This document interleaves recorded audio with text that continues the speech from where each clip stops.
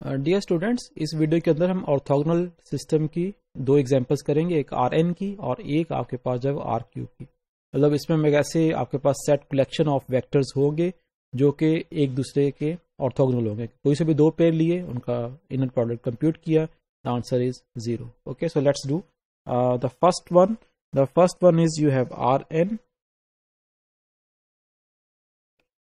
R N के अंदर I will take elements E one E N जो कि हम उसको स्टैंडर्ड बेसिस का भी नाम देते हैं। तो E one is given by one zero zero zero E two is given by इसकी सेकंड पोजीशन पे वन है, बाकी सारी एंट्रीज ज़ीरो हैं। And so on E N means इसकी एंथ पोजीशन पे वन है, बाकी सारी की सारी वैल्यूज़ हैं वो ज़ीरो है। ठीक है? Then obviously when we compute their inner product in this case, जो कि हमने आर एन के अंदर इनर प्रोडक्ट को कैसे डिफाइन किया था that was given by X belong to R N और आर एन के अंदर जो आपने इनर प्रोडक्ट को डिफाइन किया था that was given by X Y let's X Y की फॉर्म में कर लेते हैं, आपके पास ये एक्स आई वाई आई और I from one up to N तो with this one up to N so with this definition जब आप इसके ऊपर अप्लाई करोगे it is easy to see that X I E J inner product this is equal to zero whenever I is not equal to J ठीक है? एक और property जो हम ऑर्थो जो ऑर्थो नॉर्मल सिस्टम के लिए हम बाद में देखेंगे उसका मतलब इस केस में भी वो सेटिस्फाई कर रही है कि ई e आई को ई e आई के साथ जब आप इसका दोनों को सेम अगर है, उसका इनर प्रोडक्ट इस केस में कंप्यूट करेंगे with this the same definition this will give you one ठीक है? तो अगर ये ऑर्थोगोनल भी हो और इसका जो नॉर्म ऑफ़ ईच आपके पास वन भी आ जाए then we call it to be orthonormal system इसको हम इस वीडियो के बाद देखेंगे, ठीक है? Okay so let's do two let's do the second example and the second example is given by you have the values from r cube and in r cube you have you have three vectors x1 it is equal to 1 2 and 2 then you have x2 that is equal to 2 1 minus 2 and then you have x3 and it is given by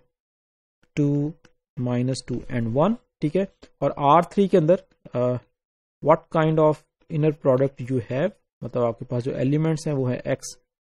you can say okay xi one xi two xi three and y is equal to eta one eta two and eta three और इस case में आपके पास जो इसका direct inner जो इनका inner product है that is given by eta one